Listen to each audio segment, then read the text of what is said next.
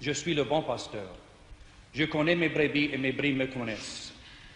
De même que le Père me connaît et que je connais le Père. Et je donne ma vie pour mes brebis. J'ai encore d'autres brebis qui ne sont pas de ce bercail. Elles, là aussi, il faut que je les mène.